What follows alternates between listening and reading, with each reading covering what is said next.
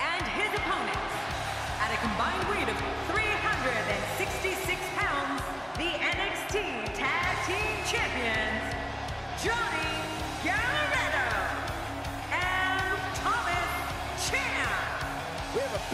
field tonight as we await the start of this match. Look at this, Cole. The hair on my arm is standing up. We've seen competitors overcome the odds of a handicap match in the past. Not very often, but it can happen. I'm overcoming handicap commentary out here.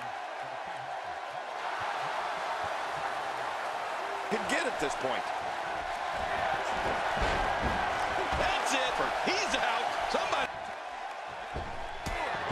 Just trying to goad his opponent into making a mistake here. This is it.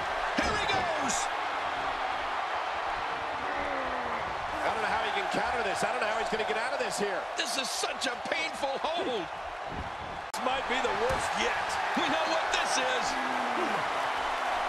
That's it. He's out. Uh-oh. There's the finisher. This. Oh, Scott Dawson is definitely injured. We can see blood now. Watch it.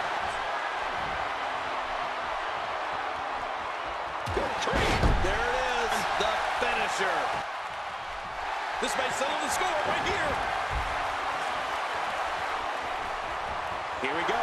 Here we go. He's hanging on for dear life. And there's a tag. Good. This is insane. Does this building have a curfew? I feel like we might be here all night.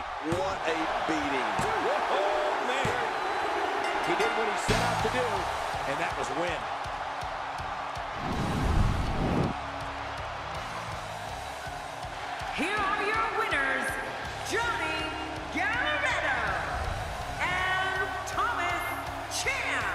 That was a big pinfall victory right there.